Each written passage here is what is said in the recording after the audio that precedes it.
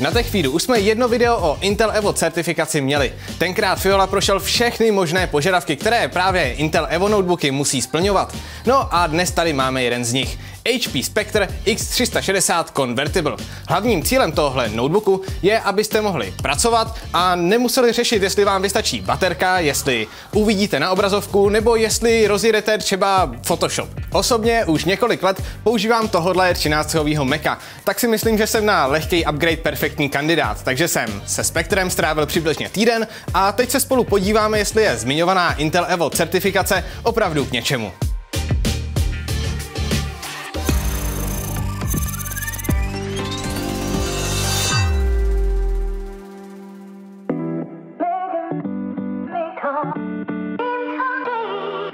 Pojďme se rovnou mrknout na základní požadavky Intel Evo certifikace. Za prvé by každý notebook měl mít procesor 11. generace s Iris Xe grafikou. Tento v sobě má konkrétně i7 1165G7, takže 4 jádra s taktem 4,7 GHz. Nabízí se ale i v konfiguraci s i5 procesory.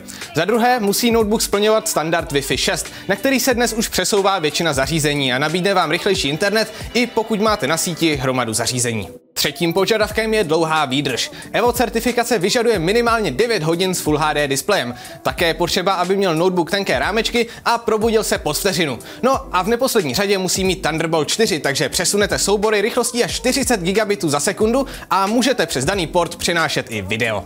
No a musím říct, že všechny tyto požadavky Spectre splňuje. Osobně mám ve zvyku svůj notebook nechávat zaplít celkem dost, což s mým starým Macem znamená, že ho musím co 2-3 hodiny nabíjet. To je samozřejmě jasný, už má taky dost za sebou a rozhodně neříkám, že Macbooky mají špatnou výdrž. Naopak od nových modelů s M1 procesory už nemusíte baterku řešit prakticky vůbec. A stejně je to i tady. A nevěřili byste, jak super to je vyjít ráno se 100%, nemuset celý den nabíjet ani jednou a domů se vrátit po přibližně 6 hodinách používání vyrovnání se 30%. Na baterku se u Evo notebooku prostě můžete spolehnout. Stejně tak je to i s obrazovkou. Sice mi kapku vadilo, že ta na našem modelu je pouze Full HD, ale to rozhodně není vysloveně problém. Přeci jenom je to 13-palcový notebook a navíc se dá naspecifikovat i s vyšším rozlišením.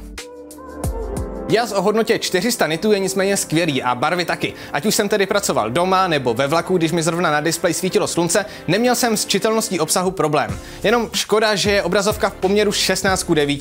Vzhledem k tomu, že je Spectre především pracovní notebook, bych ocenil spíše poměr 16 k 10 nebo 3 k 2. Potěšila mě i klávesnice. Má sice podivně velké klávesy, takže jsem se z začátku překlepával, ale jinak krásně cvaká a i když to na moji custom mechaniku nemá, u notebooku si na tuhle rozhodně stěžovat nemůžu. Jo, a je taky podsvícená, jak jinak. Zároveň cením možnost odemčení pomocí otisku prstu nebo Windows Hello. Na takhle rychlý přihlašování bych si upřímně fakt zvyknul. Touchpad je pak trochu menší, ale stále dobrý. Ocenil bych nicméně, kdyby byl haptický, protože kvůli tomuto klasickému mechanismu nemůžete v horní části touchpadu klikat. Zrovna kvůli jeho menším rozměrům by se to zde hodilo. Jo, tady na Macy stále ještě většina Windows notebooků prostě nemá. Za to zde ale najdete dotykovou obrazovku. Spolu se stylusem dokonce můžete notebook překlopit a udělat z něj prakticky tablet. Jestli tak třeba rádi malujete nebo si píšete poznámky ručně, tenhle notebook je na to jako dělaný. Pokud pak pracujete v prohlížeči nebo třeba i v programech jako je Photoshop, tak se taky díky 16 GB RAM a i7 procesoru nemusíte bát. Stejně tak si díky integrované grafice zahrajete klidně Valorant nebo CS a to platí pro každý Evo notebook, takže nemusíte pečlivě prohlížet každý model, jestli odpovídá těmto požadavkům.